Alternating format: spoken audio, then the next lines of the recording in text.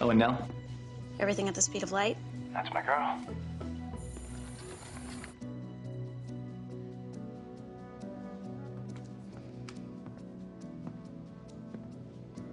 That look you just gave him, what does it mean? I raised two daughters. She knows every look in the book. We have a theory. Your daughter wasn't kidnapped. She isn't missing either. Then where is she? We think Zara ran away. No, kids who run away, they are unhappy. They wear too much eye makeup. That is not Zara.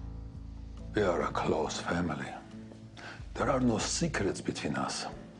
Mr. Yakub, does Zara have access to your Uber account? Why do you ask? Someone ordered a car late last night from your account. You traveled from this house to a bus stop near LAX. Is that Zara's handwriting? Yes, but I don't. I don't understand. LAX. Do you have any reason to believe she supports ISIS? Why would you ask such a ridiculous question?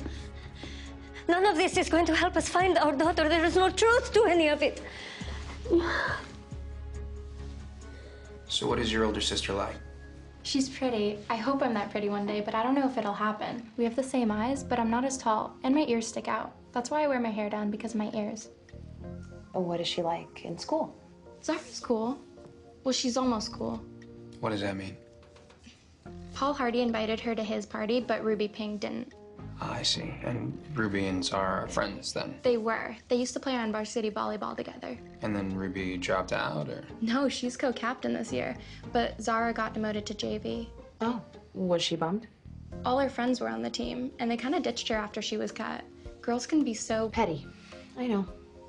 Zara was also super annoying about the whole thing, so it made it really hard to feel bad for her.